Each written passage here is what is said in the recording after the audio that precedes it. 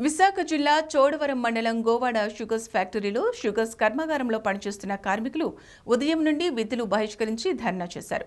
గత నాలుగు నెలల నుండి జీతాలు ఇవ్వకపోవడం దసరా పండగకి కూడా ఏమీ ఇవ్వకపోవడం కనీసం దీపావళికి కూడా జీతాలు ఇస్తామని హామీ ఇవ్వకపోవడంతో వందలాది మంది కార్మికులు ఫ్యాక్టరీలో చెట్ల కింద కూర్చొని ధర్నా చేస్తున్నారు.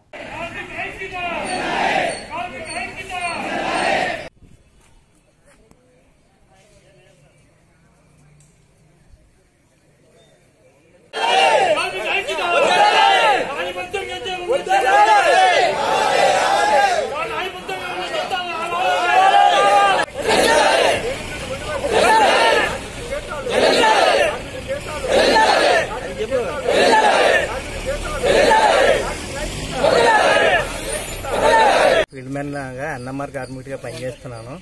మేము ఈ సీజన్ నుంచి కూడా ఈ జీతభత్యాలు సరిగా చెల్లించకపోవడం వల్ల యాజమాన్యానికి పలు మార్లు మేము విజ్ఞప్తి చేయడం జరిగింది.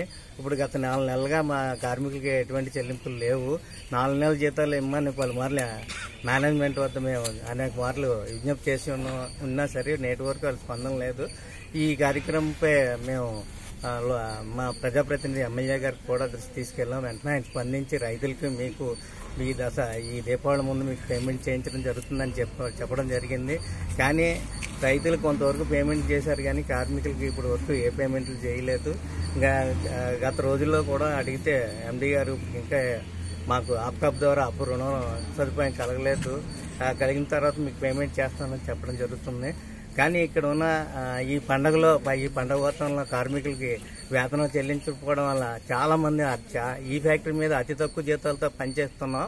ఈ జీతాలు మాకు చాలీ చాలనే అయినా సరే వీటినైనా సరే మేము పొందడం గురించి మేనేజ్మెంట్ని ఎన్నిసార్లు సార్లు విజ్ఞప్తి చేసి ఉన్నా సరే ఇప్పుడు వరకు నేటి పట్టించుకోలేదు.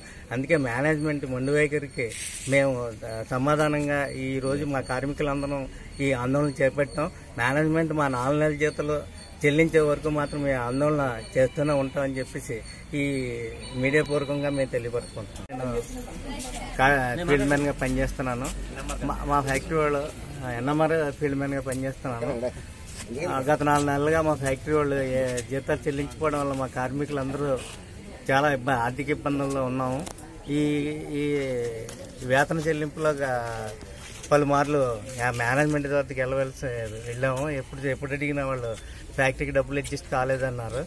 మన ప్రజాప్రతినిధి ఎమ్మెల్యే గారు కూడా దృష్టి తీసుకెళ్తే ఆయన దీపావళి ముందు కార్మికులకి రైతులకి పేమెంట్ చేస్తామని చెప్తే ఉన్నారు అందుకని మేము ఇప్పటివరకు చూసాము. ఇప్పటి వరకు మేనేజ్మెంట్ మేనేజ్మెంట్ ఎటువంటి స్పందన లేకపోవడం వల్ల ఈ కార్యక్రమం మేము చేపట్టడం జరిగింది. మాకు ఈ నాలుగు నెలల జీతాలు ఇచ్చే వరకు మాత్రం ఈ ఆందోళన మేము చేస్తామని చెప్పేసి మేము ఈ మీడియా పూర్వకంగా మేము తెలియ తెలియపరచుకుంటున్నాం అని చెప్పేసి చెప్తున్నాం.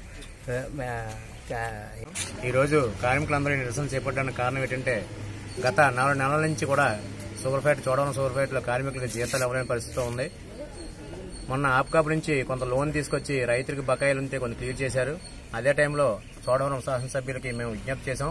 ఇలాగ నాలుగు నెలల నుంచి జీత బకాయిలు పెండింగ్ ఉండిపోయండి. రైతు కార్మికులు చాలా ఆకలి బాధలతో ఇబ్బంది పడుతున్నాం అని చెప్పని ప్రజాప్రతినిధులు చెప్తే ప్రజాప్రతినిధులు కూడా మేము చెప్పిన దానికి వెంటనే స్పందించి శాలరీస్ ఎట్టి పరిశ్రమ కూడా కార్మిక రైతులతో పాటు కార్మికులు కూడా శాలరీస్ ఇప్పిస్తామని చెప్పి మాట ఇవ్వడం జరిగింది.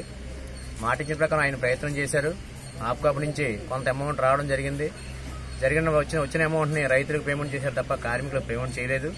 కానీ కార్మికులకు పేమెంట్ చేయడానికి నాలుగు నెలల జీతాలు బకాయిలు చేల్- ఫైనాన్షియల్ పొజిషన్ కొంచెం తక్కువ ఉండడం వల్ల ఆప్కాప్ నుంచి లోన్ తక్కువ వచ్చింది కాబట్టి రైతులకు కార్మికులకు పేమెంట్ ఇవ్వలేకపోతున్నాం అని చెప్పి చెప్పడం జరిగింది.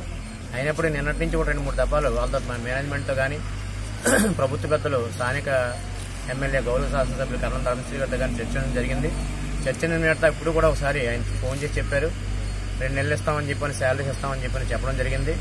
మేము యూనియన్ తరపున గుర్తింపు యూనియన్ నాయకులుగా మేము ఏం చేసామంటే మేనేజ్మెంట్తో మాట్లాడి ఈ పరిస్థితి సేదన ఇండస్ట్రీ కాబట్టి దీన్ని పూర్తిగా ఎటు పరిస్థితుల్లోనూ కూడా మనం ముందుకు వేస్తే మాత్రం ఎటు పరిస్థితుల్లోనూ లాస్ అయిపోయే పరిస్థితులు ఉన్నాయి కాబట్టి మేనేజ్మెంట్తోని యూనియన్